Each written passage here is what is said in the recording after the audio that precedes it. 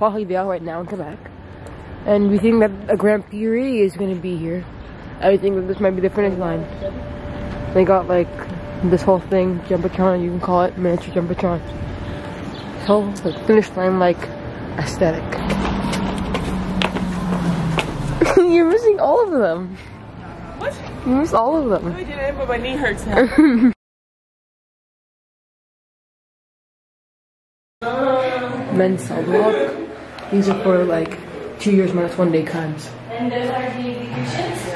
So those are the seven last time in Canada. What did she do? Uh, she put a bomb on a plane. Uh, so in here, that is our um, waiting room.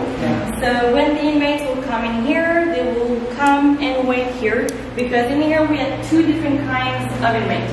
First, we will have the inmates that already have their trial, so they know they are going to spend, for example, six months in the prison here, or 10 to 15 hours.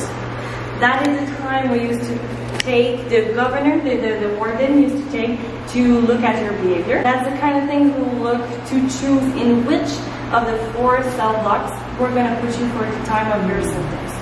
And then we also had the inmates that didn't have their trial.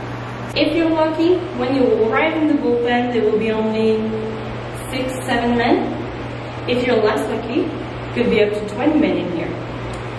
Only men. In the in here, the inmates that will spend their time in prison in here, one at a time, we will take them in the bullpen, send it here to give them their new personal items. So in here, we will do the search. Uh, so the in will look at him. There is no physical contact. Uh, it's just to make sure that he doesn't hide anything. And then we will give him there is new personal item. That is the uniform we will give them until uh, at the beginning of the of the uh, 40s until the beginning of the 70s. This is what we used to give as uniform. But in the 50s, someone wearing these with the smell of the bucket and everything. Yeah. We know exactly where it came from, so it was easy to send them back here.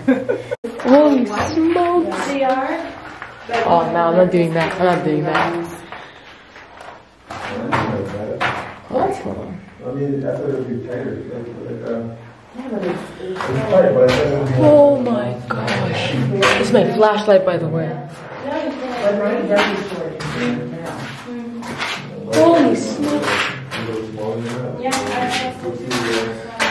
Oh, look at that. You don't need light? Ready? My flashlight? Without a flashlight.